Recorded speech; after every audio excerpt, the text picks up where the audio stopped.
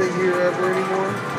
We've been playing at Morongo and Fantasy Springs and we're winning. And the casinos are full and like this uh, dead basket.